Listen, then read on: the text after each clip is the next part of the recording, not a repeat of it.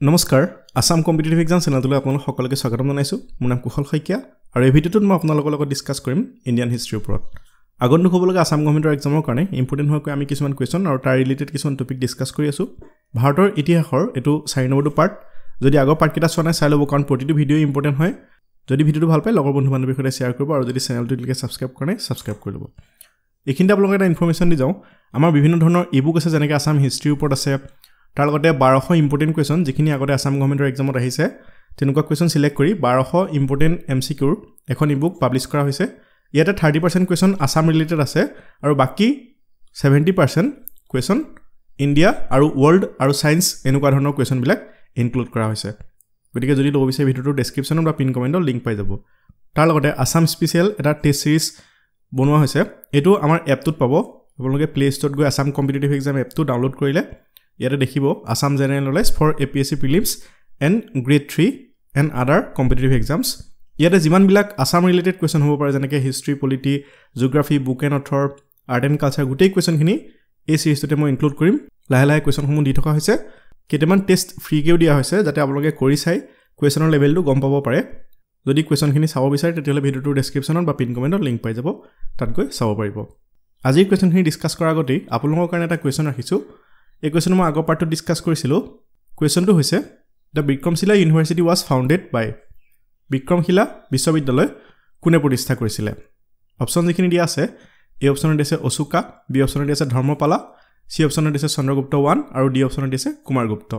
ইয়াৰ ভিতৰত কোনটো option correct হ'ব বুলি ভাবে আপোনালোকে তলত কমেণ্ট কৰিব। কাৰণ আগৰ ভিডিঅ'টোত আমি এই বিষয়ে ডিছকাছ কৰিছোঁ নিশ্চয় আপোনালোকে গম পাব লাগে।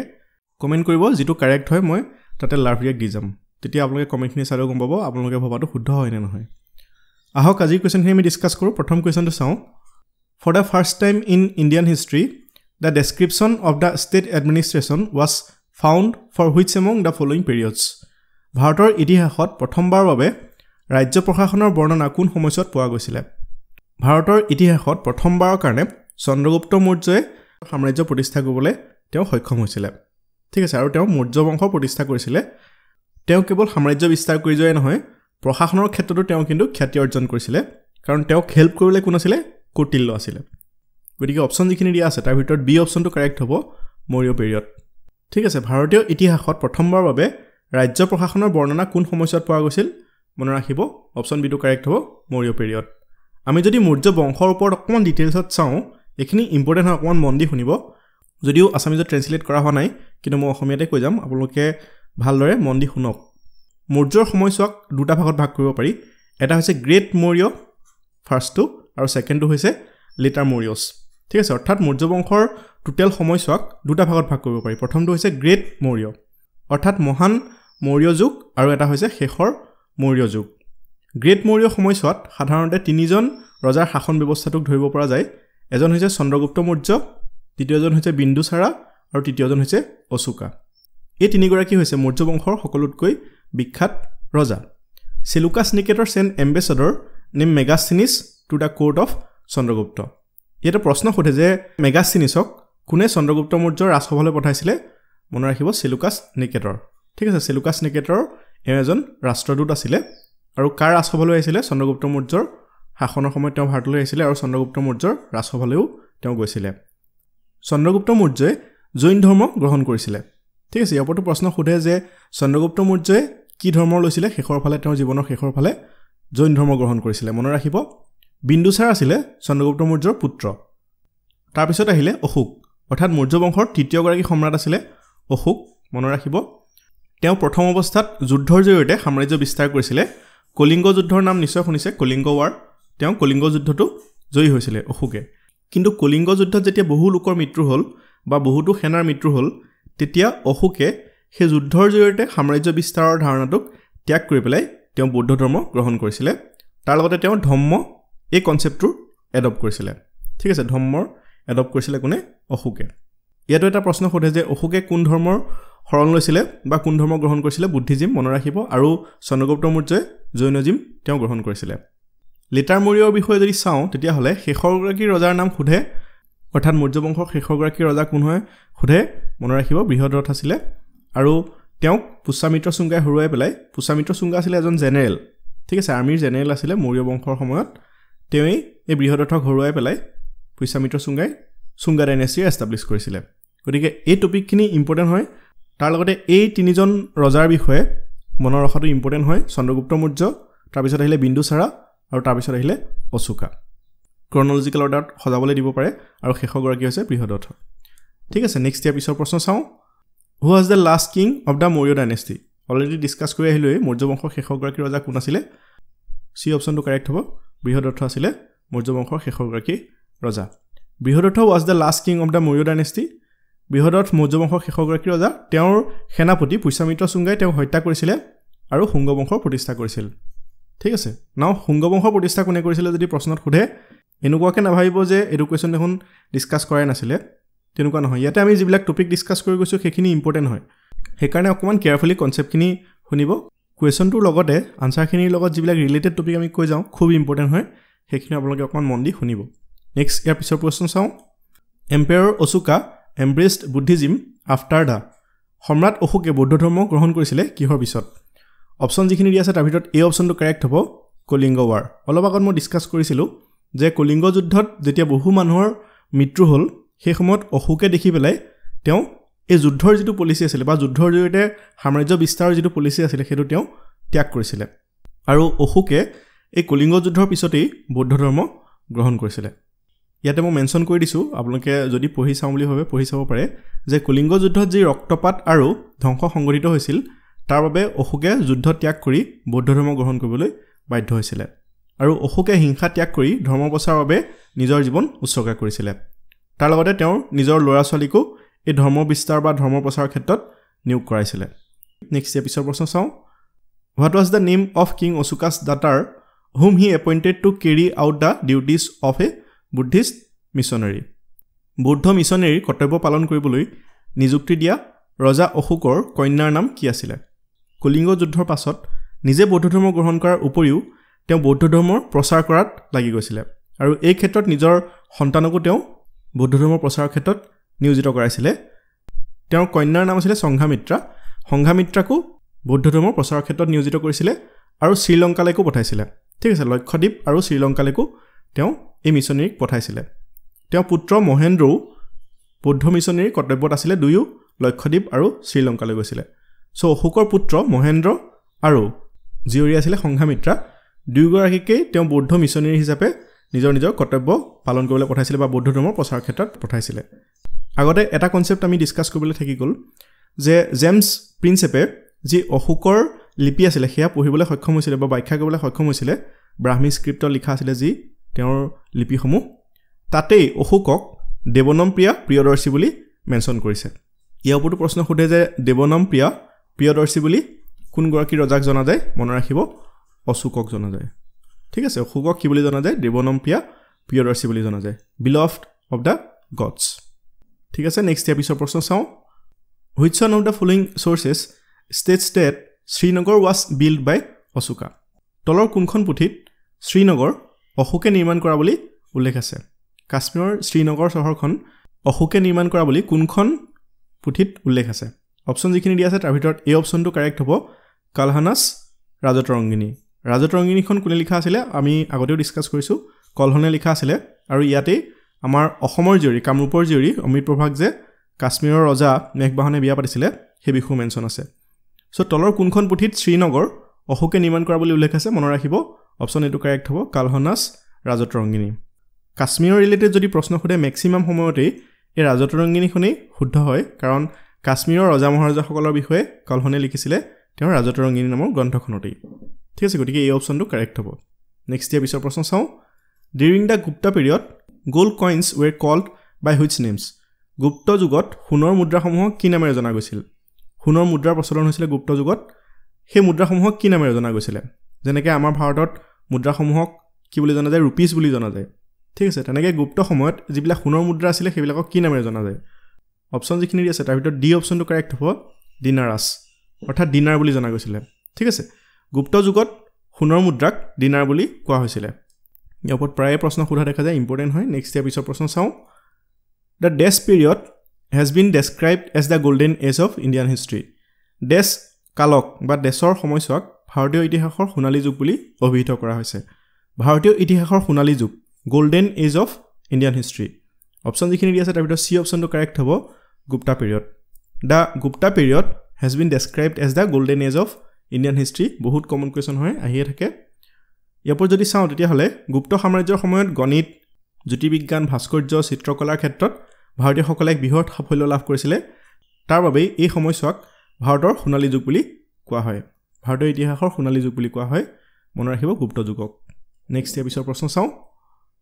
Who among the following rulers is called the Napoleon of India তলৰ শাসকসকলৰ ভিতৰত কোনজনক ভাৰতৰ নেপলিয়ন বুলি কোৱা হয়? নিশ্চয় আপোনালোকে এই বিষয়ে জানে।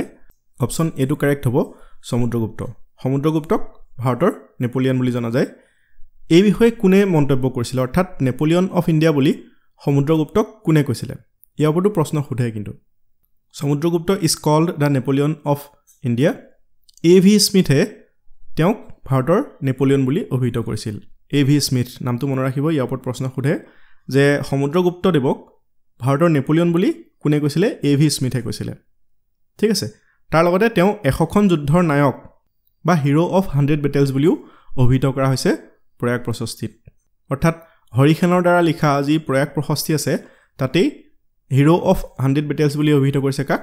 সমুদ্ৰগুপ্তক ঠিক আছে নেক্সট ইয়াৰ পিছৰ প্ৰশ্ন চাওঁ। Which of the following Gupta emperor is represented on his coins as playing the veena তলৰ কোনজন গুপ্ত সম্ৰাটে তেওঁৰ মুদ্ৰাত বীণা বজোৱাৰ ছবি চিত্ৰিত কৰিছিল। অপশ্যন যিখিনি দিয়া আছে তাৰ ভিতৰত চি অপশ্যনটো কাৰেক্ট হ'ব সমুদ্ৰগুপ্ত। সমুদ্ৰগুপ্তই নিজৰ মুদ্ৰাত নিজে বীণা বজাই থকাৰ ছবি চিত্ৰিত কৰিছিলে গতিকে অপশ্যনখিনিৰ ভিতৰত চি অপশ্যনটো কাৰেক্ট হ'ব। সমুদ্ৰগুপ্তই কিন্তু তেওঁৰ সাম্ৰাজ্য বহুখিনি বিস্তাৰ কৰিবলৈ সক্ষম হৈছিলে। তেওঁ আছিলে চন্দ্ৰগুপ্ত ওৱান অৰ্থাৎ প্ৰথম চন্দ্ৰগুপ্ত আৰু লিটছেবি প্ৰিন্সেছ কুমাৰা দেৱীৰ পুত্ৰ। অৰ্থাৎ প্ৰথম চন্দ্ৰগুপ্ত আৰু কুমাৰ দেৱীৰ পুত্ৰ আছিলে সমুদ্ৰগুপ্ত। সমুদ্ৰগুপ্তক বাঁহী আৰু বীণা বজোৱা হিচাপে চিত্ৰিত কৰা হৈছে তেওঁৰ মুদ্ৰাসমূহত। ঠিক আছে নেক্সট ইয়াৰ পিছৰ প্ৰশ্ন চাওঁ। Which book is considered as the Gupta equivalent of Kautilya's Arthashastra? কৌটিল্যৰ অৰ্থশাস্ত্ৰখন কাৰ সময়ত লিখা হৈছিলে? মৌৰ্য সাম্ৰাজ্যৰ সময়ত গুপ্ত সময়তো এনেকুৱা এখন গ্ৰন্থ লিখা হৈছিলে যিখনক কৌটিল্যৰ অৰ্থশাস্ত্ৰৰ সমতুল্য বুলি কোৱা হয়। গতিকে প্ৰশ্নটো সুধিছে যে গুপ্ত যুগত কৌটিল্যৰ অৰ্থশাস্ত্ৰৰ সমতুল্য বুলি কোনখন গ্ৰন্থক ধৰা হয়? অপশ্যন যিখিনি দিয়া আছে তাৰ ভিতৰত এই অপশ্যনটো কাৰেক্ট হ'ব নীতিচাৰা ইয়াৰ পৰা প্ৰশ্ন সোধে মনত ৰাখিব যে কৌটিল্যৰ অৰ্থশাস্ত্ৰ নিশ্চয় গম পায় চাণক্য বা কৌটিল্যই লিখা গ্ৰন্থখনৰ নাম হৈছে অৰ্থশাস্ত্ৰ যিখনত সাধাৰণতে অৰ্থনীতি ৰাজনীতি বা ৰাজ্য কেনেদৰে চলাব লাগে প্ৰশাসনৰ বিষয়ে লিখা আছিলে। গুপ্ত যুগতো তেনেকুৱা এখন গ্ৰন্থ আছিলে যিখনৰ নাম হৈছে নীতিচাৰা এইখনকে কৌটিল্যৰ অৰ্থশাস্ত্ৰৰ সমতুল্য বুলি কোৱা হয়। গতিকে অপশ্যনখিনিৰ ভিতৰত এই অপশ্যনটো কাৰেক্ট হ'ব। আমি যদি অৱৰ্তমান চাওঁ তেতিয়াহ'লে এই গ্ৰন্থখন লিখিছিলে কোনে? কামান ডাকা it was written by Kamandaka who was a minister in the Gupta empire গুপ্তৰ সময়ত এওঁ এই নীতিচাৰা নামৰ গ্ৰন্থখন লিখিছিলে। এইখনতেই political science and statecraft that is often considered as the Gupta equivalent of Kautilya's Arthashastra অৰ্থশাস্ত্ৰত যেনেকৈ ষ্টেট ক্ৰাফ্ট বা পলিটিকেল কনচেপ্টৰ বিষয়ে লিখা আছে ইকনমিক কনচেপ্টৰ বিষয়ে লিখা আছে তেনেকৈ এই গ্ৰন্থখনতো লিখা আছিলে। Political administration governance diplomacy strategies for rulers এইবিলাকৰ বিষয়ে লিখা আছিলে। ঠিক আছে নেক্সট ইয়াৰ পিছৰ প্ৰশ্ন চাওঁ। Which of the following works tells us about the succession of Chandragupta one to the throne তলৰ কোনখন গ্ৰন্থত প্ৰথম চন্দ্ৰগুপ্তৰ সিংহাসনৰ উত্তৰাধিকাৰী সম্পৰ্কে কোৱা হৈছে? ইম্পৰ্টেণ্ট প্ৰশ্ন হয় প্ৰথম চন্দ্ৰগুপ্তৰ সিংহাসনৰ উত্তৰাধিকাৰী সম্পৰ্কে যিখন গ্ৰন্থ লিখা হৈছে সেইখন গ্ৰন্থ হৈছে কামুদী মহোৎসৱা। এনেকুৱা ধৰণৰ প্ৰশ্ন পৰীক্ষাত আহে কিন্তু কিন্তু জেনেৰেলি বহুতে ডিছকাছ নকৰে। এই চেনেলটোত ইজিসমূহৰ লগতে কিছুমান টাফ কুৱেশ্যনো ডিছকাছ কৰা হয় যাতে পৰীক্ষা হলত গৈ কুৱেশ্যনটো দেখি আপোনালোকে চক হৈ নাযায়। মনত ৰাখিব প্ৰথম চন্দ্ৰগুপ্তৰ সিংহাসনৰ উত্তৰাধিকাৰী সম্পৰ্কে কোৱা গ্ৰন্থখন হৈছে কমদী মহোৎসৱা। আমি যদি অপৰত অকণমান চাওঁ কমদী মহোৎসৱা নামৰ এই গ্ৰন্থখন লিখিছিলে বিজয়া ভট্টৰিকা নামৰ এগৰাকী ৰাণীয়ে। ঠিক আছে তাৰ লগতে বাকী কেইখনমান গ্ৰন্থৰ ওপৰতো আমি অকণমান ডিছকাছ কৰি যাওঁ। মৃৎসকটিকা নিশ্চয় নাম শুনিছে। এই মৃৎসকটিকা গ্ৰন্থ কোনে লিখা আছিলে? শূদ্ৰকাই লিখা। বহুতবাৰ এইটো প্ৰশ্ন সুধিছে। তাৰ লগতে অভিজ্ঞান শকুন্তলম কোনে লিখা? কালিদাসে লিখা। মহাকবি কালিদাসে অভিজ্ঞান শকুন্তলম ৰচনা কৰিছিলে। দেৱী চন্দ্ৰগুপ্তম এইখন কোনে লিখা? বিশাখা দেৱা বা বিশাখা দত্তই লিখা আছিলে। দেৱী চন্দ্ৰগুপ্তম। ইয়াৰ ওপৰত প্ৰশ্ন সোধে কিন্তু ইম্পৰ্টেণ্ট হয়। বিশাখা দত্তৰ আৰু এখন ফেমাছ গ্ৰন্থ আছে সেইখন হৈছে মুদ্ৰা ৰাক্ষসা মুদ্ৰা ৰাক্ষসা আৰু দেৱী চন্দ্ৰগুপ্তম এই দুইখন কোনে লিখা আছিলে? বিশাখা দত্তই লিখা। মনত ৰাখিব বিশাখা দত্তৰ দ্বাৰা লিখা হৈছিলে মুদ্ৰা ৰাক্ষসা এণ্ড দেৱী চন্দ্ৰগুপ্তম। মহাকবি কালিদাসে লিখিছিলে অভিজ্ঞানম চকুন্তলম মিশ্ৰকটিকা চুদ্ৰকাই লিখা আৰু কৌমুদী মহোৎসৱা বিজয় ভট্টাৰিকাই লিখা আছিলে। ঠিক আছে নেক্সট ইয়াৰ পিছৰ প্ৰশ্ন চাওঁ। Who among the following is the author of the book Yoga Sutra তলত দিয়াসকলৰ ভিতৰত যোগসূত্ৰ গ্ৰন্থখনৰ লেখক কোন আছিলে? যোগসূত্ৰ গ্ৰন্থৰ লেখক কোন? পতঞ্জলি অপশ্যন ডিটো কাৰেক্ট হ'ব। আমি এই বিষয়ে আগতেও ডিছকাছ কৰিছোঁ। পতঞ্জলীয়ে লিখিছিলে যোগসূত্ৰ নামৰ গ্ৰন্থখন। পতঞ্জলী যোগসূত্ৰ হৈছে যুগৰ তত্ত্ব আৰু অনুশীলন সম্পৰ্কীয় সংস্কৃত সূত্ৰৰ সংকলন। গতিকে পতঞ্জলীয়ে লিখা আছিলে এই গ্ৰন্থখন। নেক্সট ইয়াৰ পিছৰ প্ৰশ্ন চাওঁ। Pushyabhuti who rule from Thaneshwar was the founder of this dynasty থানেশ্বৰৰ পৰা শাসন কৰা পুষ্যভূতি আছিল দেশ বংশৰ প্ৰতিষ্ঠাপক। পুষ্যভূতিয়ে কোনটো বংশৰ প্ৰতিষ্ঠা কৰিছিলে? বৰ্ধনা বংশৰ প্ৰতিষ্ঠা কৰিছিলে। গতিকে অপশ্যনখিনিৰ ভিতৰত এই অপশ্যনটো কাৰেক্ট হ'ব। বৰ্ধনা মানে নিশ্চয় হৰ্ষবৰ্ধনৰ নাম শুনিছে। চ' হৰ্ষবৰ্ধন আছিলে বৰ্ধন বংশৰ শেষৰগৰাকী ৰজা। এই পুষ্যভূতি বৰ্ধনা বংশৰ বা বৰ্ধন বংশৰ প্ৰতিষ্ঠা কৰিছিলে। বৰ্ধনা বংশক আকৌ পুষ্যভূতি বংশ বুলিও কোৱা হয়। ঠিক আছে? যিহেতু পুষ্যভূতিয়ে প্ৰতিষ্ঠা কৰিছিলে সেইকাৰণে বৰ্ধনা বংশক পুষ্যভূতি বংশ বুলিও কোৱা হয়। আমি যদি অপৰত অকণমান চাওঁ বৰ্ধন বংশৰ প্ৰতিষ্ঠাপক আছিলে পুষ্যভূতি এই বংশৰ এজন উল্লেখযোগ্য ৰজা আছিলে প্ৰভাকৰ বৰ্ধন তাৰ লগতে অন্তিমজন ৰজা হৈছে হৰ্ষবৰ্ধন। হৰ্ষবৰ্ধনেই এই বংশৰ আটাইতকৈ শেষৰগৰাকী ৰজা। এটা কথা মন কৰিবলগীয়া আমাৰ কামৰূপৰ ৰজা ভাস্কৰ বৰ্মন আছিলে বৰ্মন বংশৰ শেষৰগৰাকী ৰজা। আৰু ভাস্কৰ বৰ্মনৰ সমসাময়িক ৰজা আছিলে হৰ্ষবৰ্ধন। অৰ্থাৎ ভাস্কৰ বৰ্মন আৰু হৰ্ষবৰ্ধন একে সময়ৰে আছিলে। আৰু ভাস্কৰ বৰ্মনো বৰ্মন বংশৰ শেষৰগৰাকী ৰজা আছিলে। ইণ্টাৰেষ্টিং হয় ভাস্কৰ বৰ্মন আৰু হৰ্ষবৰ্ধনৰ মাজত বন্ধুত্বও আছিলে কিন্তু। ভাস্কৰ বৰ্মনো বৰ্মন বংশৰ শ্ৰেষ্ঠ ৰজা বুলিও ক'ব পাৰে আৰু হৰ্ষবৰ্ধনকো এই বৰ্ধন বংশৰ শ্ৰেষ্ঠ ৰজা বুলি ক'ব পাৰে। আকৌ ভাস্কৰ বৰ্মন হৈছে বৰ্মন বংশৰ শেষৰগৰাকী ৰজা last ruler of Varman dynasty again যদি আমি বৰ্ধন বংশৰ ওপৰত চাওঁ তেতিয়াহ'লে হৰ্ষবৰ্ধন যিগৰাকী ভাস্কৰ বৰ্মনৰ সমসাময়িক আছিলে তেওঁ কিন্তু এই বৰ্ধন বংশৰ শেষৰগৰাকী ৰজা আছিলে। গতিকে এইটো কাহিনীটো ইণ্টাৰেষ্টিং হয়। মনত ৰাখিব বৰ্ধন বংশৰ প্ৰতিষ্ঠাপক কোন আছিলে? পুষ্যভূতি। বৰ্ধন বংশৰ প্ৰতিষ্ঠাপক পুষ্যভূতি আকৌ বৰ্মন বংশৰ প্ৰতিষ্ঠাপক আছিলে পুষ্যবৰ্মন। নামকেইটা অকণমান ৰিলেট আছে কিন্তু। বৰ্ধন বংশ পুষ্যভূতি বৰ্মন বংশ পুষ্যবৰ্মন। ঠিক আছে নেক্সট ইয়াৰ পিছৰ প্ৰশ্ন চাওঁ। During whose reign did the Chinese traveller Hiuen Tsang visit India কাৰ ৰাজত্বকালত চীনা যাত্ৰী বা চীনা পৰিব্ৰাজক হিউৱেন চাঙে ভাৰত ভ্ৰমণ কৰিছিলে? অপশ্যন যিখিনি দিয়া আছে তাৰ ভিতৰত ডি অপশ্যনটো কাৰেক্ট হ'ব। হৰ্ষবৰ্ধন। হৰ্ষবৰ্ধনৰ ৰাজত্বৰ সময়ত চীনা পৰিব্ৰাজক হিউৱেন চাং ভাৰতলৈ আহিছিলে। আৰু আমাৰ কামৰূপত ভাস্কৰ বৰ্মনৰ ৰাজত্বৰ সময়ত চীনা পৰিব্ৰাজক হিউৱেন চাং আমাৰ কামৰূপলৈ আহিছিলে। ঠিক আছে? ইয়াৰ ওপৰত যদি চায় তেতিয়াহ'লে হিউৱেন চাঙে লিখা গ্ৰন্থখনৰ নাম কি? তেওঁ ভাৰত ভ্ৰমণ কৰি পেলাই যিখন গ্ৰন্থ লিখিছিলে চি ইউ কি। ইয়াতে আমাৰ কামৰূপৰ বিষয়েও লিখিছিলে কিন্তু তেওঁ। গতিকে এই চি ইউ কি গ্ৰন্থখনৰ নাম প্ৰায়ে প্ৰশ্ন সুধি থাকে কোনে লিখা? হিউৱেন চাঙে লিখা আছিলে। হৰ্ষবৰ্ধনে ভাতৃ ৰাজ্যবৰ্ধনৰ মৃত্যুত থানেশ্বৰ আৰু কনৌজৰ সিংহাসনত আৰোহণ কৰিছিলে। হৰ্ষবৰ্ধনৰ ভাতৃ ৰাজ্যবৰ্ধনৰ মৃত্যু হৈছিলে গৌৰ ৰজা শশাংকৰ লগত যুদ্ধত। ঠিক আছে আৰু তাৰেই প্ৰতিশোধ ল'বৰ কাৰণে হৰ্ষবৰ্ধনে গৌৰ ৰজা শশাংকৰ এগেইনষ্টত যুদ্ধ কৰিছিলে য'ত হৰ্ষবৰ্ধন জয়ী হৈছিলে। আৰু এই হৰ্ষবৰ্ধনৰ যুদ্ধটো সহায় কৰিছিলে আমাৰ কামৰূপৰ ৰজা ভাস্কৰ বৰ্মনে। নিশ্চয় আপোনালোকে জানে ভাস্কৰ বৰ্মন আৰু হৰ্ষবৰ্ধনে লগ হৈ পেলাই গৌৰ ৰজা শশাংকৰক হৰুৱাইছিলে বা পৰাজিত কৰাইছিলে। গতিকে হৰ্ষবৰ্ধন আৰু ভাস্কৰ বৰ্মনৰ মাজত এই সময়তেই মিত্ৰতা স্থাপন হৈছিলে। ঠিক আছে নেক্সট ইয়াৰ পিছৰ প্ৰশ্ন চাওঁ। Banabhatta was the court poet of which of the following Indian king Banabhatta দলৰ কোনজন ভাৰতীয় ৰজাৰ দৰবাৰৰ কবি আছিলে? বানভট্ট কোনজন ৰজাৰ দৰবাৰত আছিলে? অপশ্যন যিখিনি দিয়া আছে তাৰ ভিতৰত এই অপশ্যনটো কাৰেক্ট হ'ব হৰ্ষবৰ্ধনা হৰ্ষবৰ্ধনৰ ৰাজ দৰবাৰত বানভট্ট এগৰাকী কবি আছিলে আৰু তেওঁৱেই হৰ্ষবৰ্ধনৰ জীৱনী ৰচনা কৰিছিলে আৰু নাম দিছিলে কি? হৰ্ষচৰিত। গতিকে হৰ্ষচৰিত কোনে লিখা আছিলে? বানভট্টই লিখা। Harshacharita which is the biography of Indian emperor Harsha? Was written by Banabhatta ঠিক আছে নেক্সট ইয়াৰ পিছৰ প্ৰশ্ন চাওঁ। King Shashanka against whom Harshavardhana declared war was a ruler of this kingdom হৰ্ষবৰ্ধনে যাৰ বিৰুদ্ধে যুদ্ধ ঘোষণা কৰিছিল ৰজা শশাংক ডেছ ৰাজ্যৰ শাসক আছিলে। মই অলপ আগত ক'লোৱেই যে গৌড়ৰ ৰজা ইয়াৰ অপশ্যন ডিটো কাৰেক্ট হ'ব। গৌড়।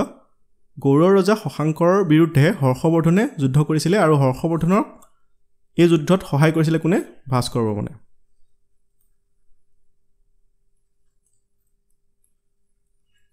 ঠিক আছে ভাস্কৰ বৰ্মনে সহায় কৰিছিলে হৰ্ষবৰ্ধনক আৰু দুয়োগৰাকী মিলি কৌৰৰ ৰজা শশাংকৰক পৰাজিত কৰিছিল।